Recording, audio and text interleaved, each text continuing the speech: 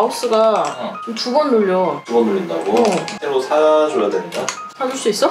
어 그럼 새 것같이 만들어줄게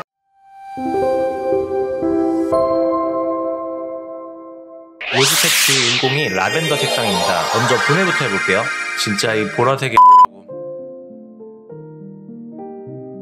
나사를 분해하려면 먼저 feet를 제거해야 됩니다 여분의 feet가 없는 이상 재활용해야 되기 때문에 먼저 드라이기로 열을 가해줍니다 충분히 열이 가해졌다면 이제 피트를 제거해 볼게요. 피트를 제거해야 되는 곳은 총 3군데입니다.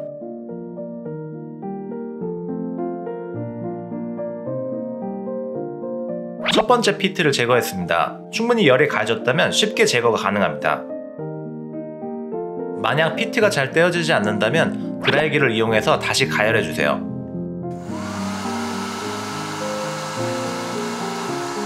두 번째 피트도 다시 가열하여 제거했습니다. 나중에 재활용할 수 있게 한 곳에 잘 모아두세요. 이 부분 스티커가 얇아서 잘 제거가 되지 않습니다. 추후에 재활용하기 위해서는 신중하게 떼내야 합니다. 3개의 피트를 제거했다면 나사홀이 보입니다.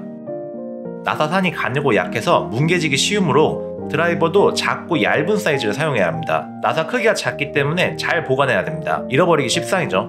너무 강하게 돌리지 않도록 주의해야 합니다. 나사 산이 정말 쉽게 뭉개질 수 있습니다. 3개의 나사를 모두 제거해주세요.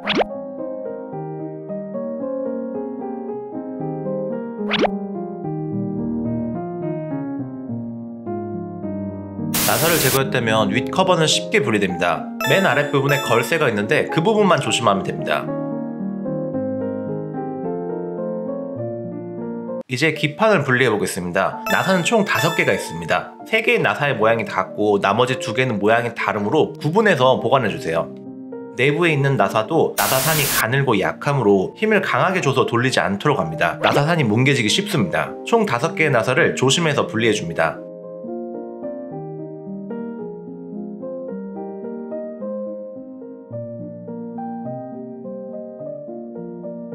나사 제거 후 기판을 마우스 하판에서 분리합니다. 조심스럽게 분리하면 되고 유선 마우스인 관계로 선이 고정되어 있는 부분이 있습니다. 그 부분도 조심해서 분리해주세요.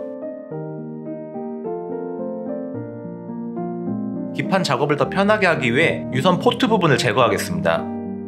손으로 잡아 빼려고 하면 잘 빠지지가 않습니다. 유선 포트 부분을 잘 보면 양쪽에 작은 걸쇠가 있습니다. 이 부분을 핀셋 같은 걸로 누르면서 제거하면 됩니다. 생각보다 잘 빠지지 않으니 양쪽의 걸쇠 부분을 꼭 누르면서 케이블을 제거해주세요. 총 5개의 스위치가 있습니다. 휠 버튼 스위치까지 하면 6개라고 할 수 있겠네요. 측면에 사이드 버튼 2개는 카일 스위치가 적용되어 있습니다.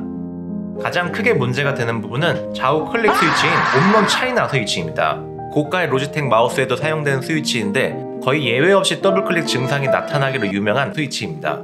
물론 스위치가 소모품이고 당연히 언젠간 고장나기 마련이죠. 하지만 옴론 차이나 스위치는 스펙상 내구성도 상당히 낮습니다. 실제 사용해봐도 더블클릭 증상이 몇 개월 사용하지 않았는데도 나타나는 경우도 많았고요. 같은 옴론 스위치라고 하더라도 옴론 재팬 스위치는 상대적으로 수명이 더 길고요. 교체할 스위치는 후아노 blue shell white 스위치입니다. 내구성은 좋지만 기존의 옴론 차이나 제품보다는 키압이 좀 높은 편입니다. 좌우 클릭 버튼 총 두개를 교체해 보겠습니다. 납땜을 하기 위한 준비물입니다. 인두기가 필요합니다. 납땜 제거를 위한 흡입기나 solder wick이 필요합니다. 실납, 페이스트, 인두팁 클리너 등 소모품이 필요합니다. 납땜기를 놓을 스탠드 및 작업을 위한 거치대가 필요합니다. 납땜을 할 때 나오는 연기가 몸에 좋지 않으므로 환기가 잘 되는 곳에서 납땜을 진행해주세요. 마스크를 사용하는 걸 추천합니다. 고온에서 작업하는 거기 때문에 안전을 위해서 장갑도 꼭 챙겨주세요. 거치대에 기판을 고정해주세요. 스위치 한 개당 3부위의 납땜이 필요합니다.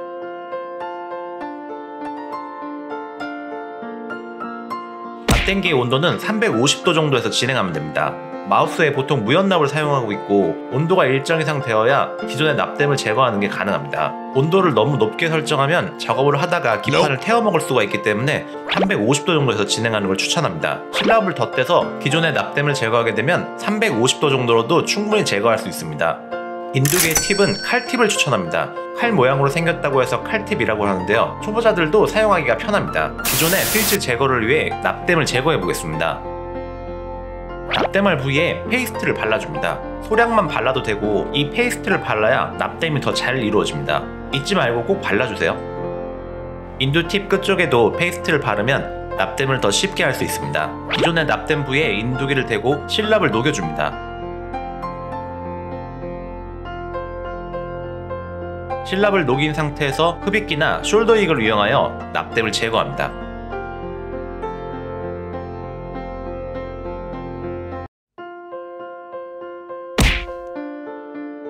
중간중간 인두팁 클리너를 통해 인두팁을 청소해주세요. 인두팁이 깨끗해야 납땜이 더 잘 이루어집니다. 스위치 하나당 3개의 납땜 부위가 있습니다. 같은 과정을 반복해서 기존의 납땜을 제거해주세요.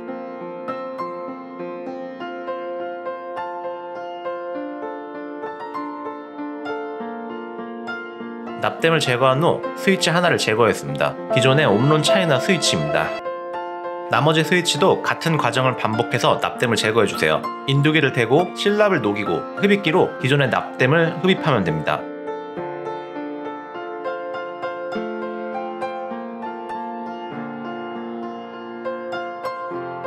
기존의 스위치 하나도 제거했습니다. 좌우 클릭에 사용하는 총두 개의 스위치를 제거했습니다. 이제 옴론 차이나 스위치는 안녕입니다. 포함면 블루젯 화이트 스위치를 장착해 보겠습니다. 기판과 스위치를 거치대에 잘 고정해 주세요. 납땜을 제거할 때와 마찬가지로 페이스트를 꼼꼼하게 발라줍니다.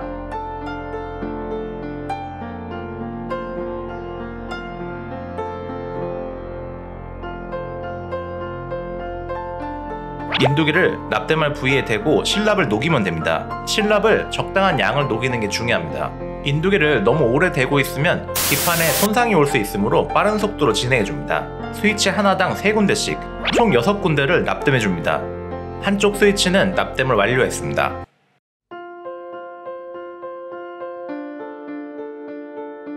나머지 하나의 스위치도 페이스트를 바르고 납땜을 진행해 주세요.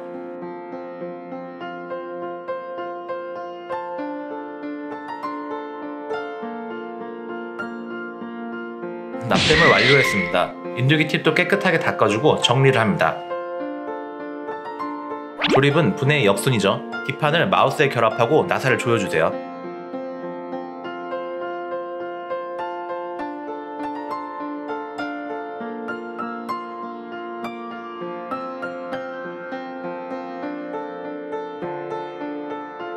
분리해두었던 피트도 잘 붙여주세요. 스위치 교체가 완료되었습니다. 좌우 쿨링 모두 잘 됩니다.